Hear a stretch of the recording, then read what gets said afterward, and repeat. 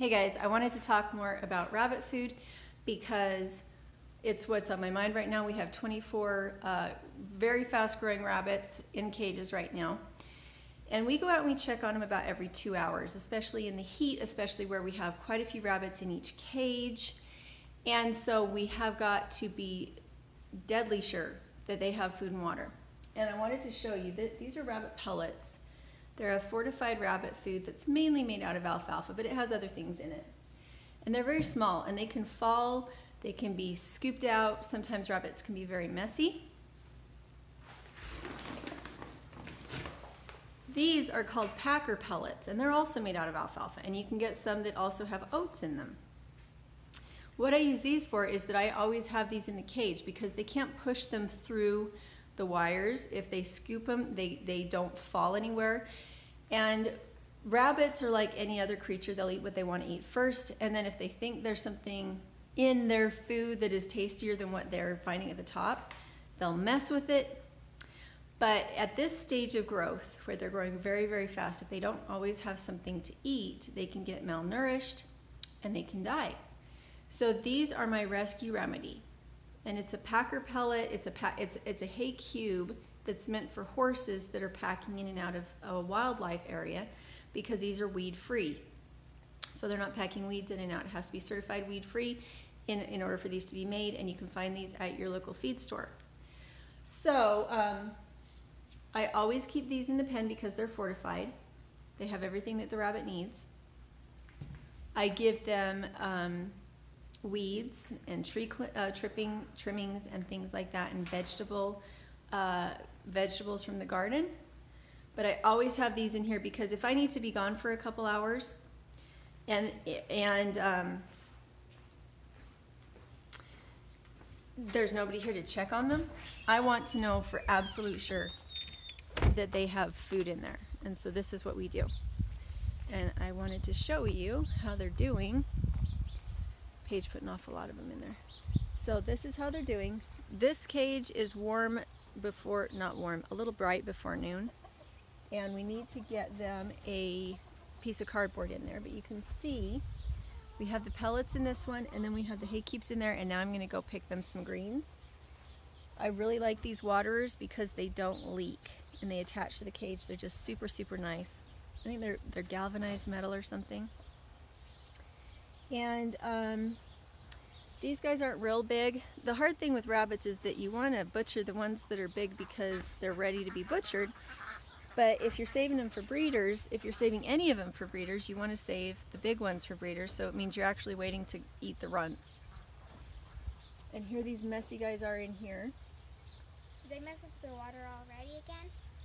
Um, no, actually they haven't. Good. It looks like those ones might be out of pellet might need to scoop them back down.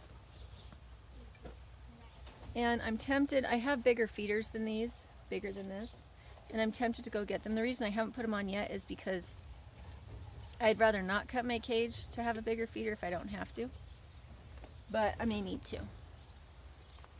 And if you're in the business of raising rabbits for meat, you do want to have um, bigger feeders. The one thing is, move over, Benny. Move. I don't want the rabbit uh, food back by their pee spot. Rabbits are like pigs or even dogs, where if they have a, a choice, they will poop all in one spot. So rabbits are, are exactly the same. They'll poop and pee in one spot, and I don't want their food back there in that spot. All right, Kaya, we need to get a couple pieces of plastic put in here for them to rest on. Okay. And I'm always changing cages. I'm always changing the situation, which is why I really like to hold on to everything that I have because that way it doesn't cost me anything to change what needs to be changed so that it functions better for the animals. How many eggs we have on that tray? You have a ton? Yeah. Okay, uh, here's the quail. They also work just fine in uh, rabbit hutches. And we have many, many eggs this morning. We have little trays of sand for them to dust bath in, and they're very happy with that. When you make your creatures happy with their home, they don't fight as much, they don't waste as much food, and so we're working on that really hard. They have good shade here. and plenty of water, plenty of food, lots of sand. And so they're very happy. They they're not picking on each other. They're not overcrowded. We have three three more. I don't careful.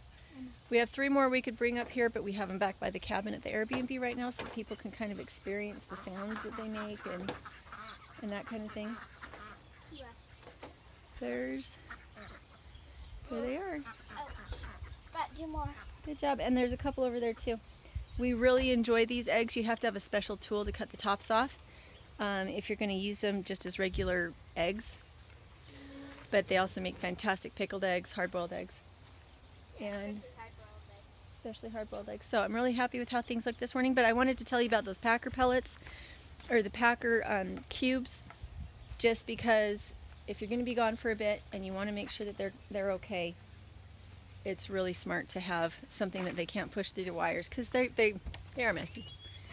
Oh, and I've got the video almost finished up of the hotbed greenhouse. Almost got that video up, but I'm not sure if I should post it now or wait until I have the plastic on. But I'm not putting the plastic on until September, so it makes me feel like I'm kind of wasting time for you guys. I feel like I should kind of get it up now. Anyway, there we go. Hopefully that was helpful. These are my favorite feed bins because you can stack them. They're easy to get into. I will put the link to that in the Amazon, the Amazon link to that. And if you purchase some through that link, it helps our um, our family um, through that affiliate share with Amazon. But we also have um ebooks about rabbits on our Etsy store, so make sure to go check that out. We'll talk to you later.